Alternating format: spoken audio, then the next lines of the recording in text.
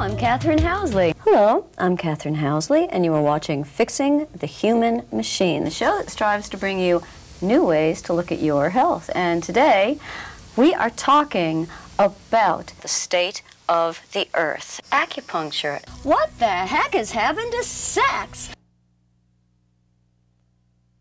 All right, let's make cookies. Just dump that one cup of sweet rice flour in with the oats, and like with all the other things, toss it in the old blender. Oh, Isabel, plug in the blender. I shall plug in the blender. I would like to talk about something that we mentioned briefly in our last show, and that is the effect of the media on our eating habits. Moms having a hard time getting those finicky kids to eat along with the rest of the family? Try this. New Twinkie Helper from Betty Crackpot. Just add a box of Twinkies and stir. Your body is giving you the messages that you need. Yes, you're fat, you're fat, you're, You're fat, fat, you're you're fat. Honey, honey, do I look fat? I'd like to say that while some of the food trends that we see on TV are merely ridiculous, some of them are downright dangerous. Where's my jacket? Oh, it's right here. Can you get it for me, honey? Sure, here you go. Edith!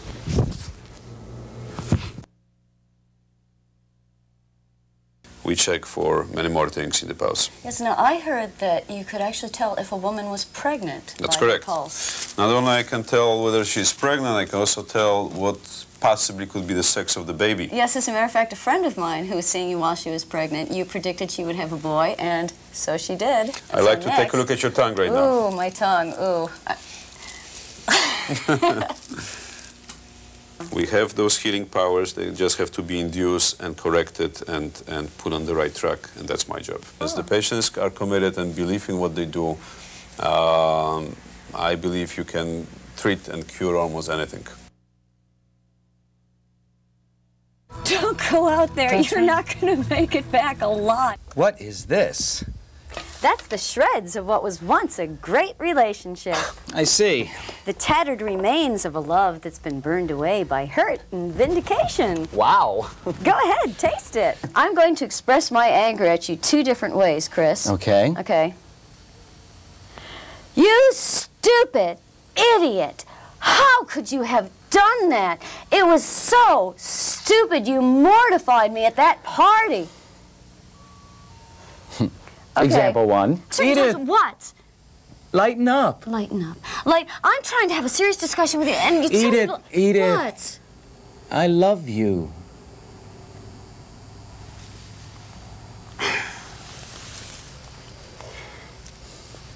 You sure know how to kill a good argument.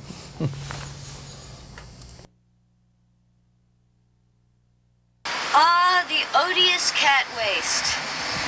If this odious cat waste were a metaphorical representation of nuclear waste and the environmental problems that we're having on this earth, here is a metaphorical representation of what we would be doing about it. Dropping it off on somebody else's doorstep. Where is there concern about the long range effects of biotechnology on our environment? Well, clearly th- there isn't. We dropped depleted uranium, and they had also they had some strange cancer cases and this and that. But of course, there's no proven link. no proven link, yes. Absolutely. We've got to prove this stuff before we can do anything at all about it. It's a great thing about democracy because, like, 60 years from now, we can talk about this as freely as we'd like. and for all the good it'll do us. We'll know everything. You know, it's true. A little knowledge is a dangerous thing. If we've got a small piece of the picture and we don't have the big picture, sometimes we can take it in an extreme direction and end up hurting ourselves instead of helping ourselves. So let's watch out for that, shall we?